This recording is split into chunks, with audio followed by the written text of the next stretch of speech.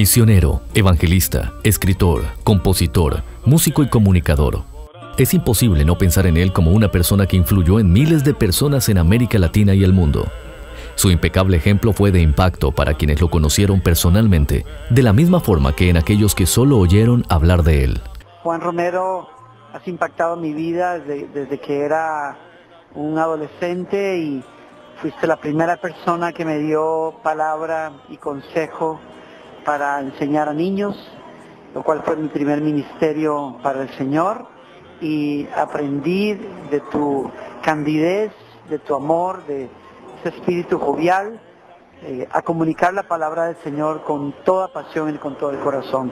Juan Romero nació un 11 de enero de 1929 en Monterrey, Nuevo León, México. Con apenas siete años de edad, decidió entregarle su vida a Jesús y desde ese entonces le sirvió sin detenerse, cumpliendo así 69 años de incansable labor evangelística. En junio 12 del año de 1949, contrajo matrimonio con Aurora Orozco, unión de la que nacieron cuatro hijos, Betty, Aurora, Ivonne y Juan Carlos. A través de diferentes medios, Juan Romero comunicó el mensaje de salvación y ayudó a personas de diferentes lugares a tener una relación personal con Dios. Eran cien ovejas que había en su rebaño. ¿Qué tal? Yo soy Marcos Witt. Este es un saludo muy especial que le envío a una persona que yo he querido mucho toda mi vida y que ha sido de gran bendición para tantos de nosotros. Mi querido Juan Romero, te amamos muchísimo Quiero honrarte por ser de tanta bendición, no solo a mi vida, sino también a millones de personas a través de América Latina, por medio de tus canciones, tus poesías, tus libros, todo lo que invertiste en América Latina para la gloria del Señor Jesucristo. Hoy en día, muchas de sus canciones, poemas y prédicas continúan influenciando a miles de personas de todas las edades alrededor del mundo.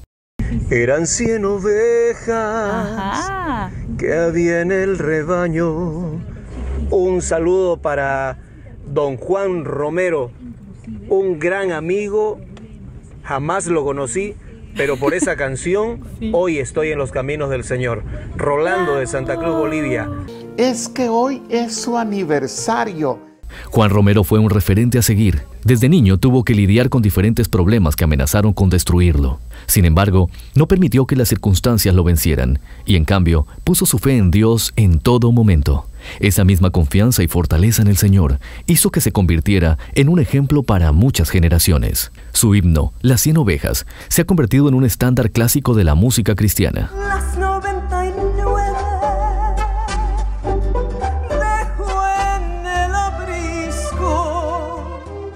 Inspiró y motivó a toda una generación de ministros con su risa y su singular sentido del humor. El que compuso y cantó del buen pastor hoy tiene la alegría de ser abrazado por él. Por más de 10 años, Juan Romero y su esposa Aurora condujeron un programa de televisión que alcanzaba una teleaudiencia de más de 70 millones de televidentes. Escribió más de 430 himnos y fue autor de varios libros, incluyendo un poemario y un himnario, además de una autobiografía al cumplir los 50 años de ministerio.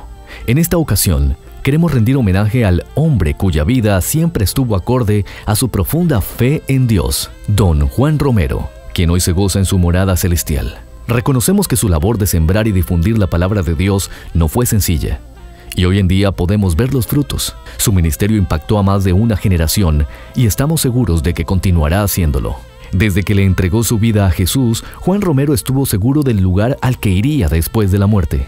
Tenía la plena convicción de que no fuimos creados para permanecer eternamente en el mundo, sino que nuestro verdadero destino es estar con nuestro Creador en el cielo. Estamos convencidos de que ahora mismo, don Juanito está gozando de la presencia de Dios nos sentimos en paz porque sabemos que en estos instantes Él está en el lugar para el que se preparó en vida, al lado de su Padre Celestial.